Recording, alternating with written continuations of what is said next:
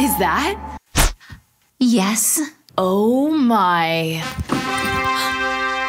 The upgraded HVE 3000.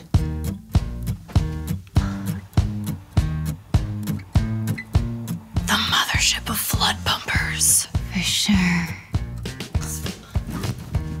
Did you know the float switch system now manages the vacuum and pump out function seamlessly?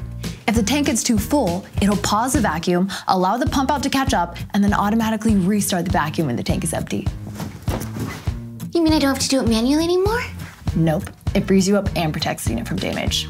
The ultimate upgrade for continuous operation.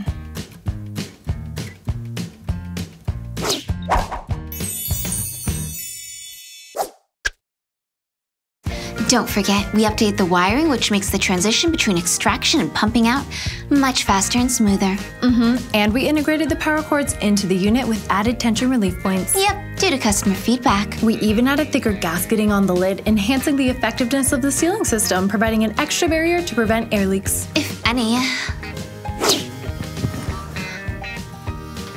Talk about a performance and reliability improvement.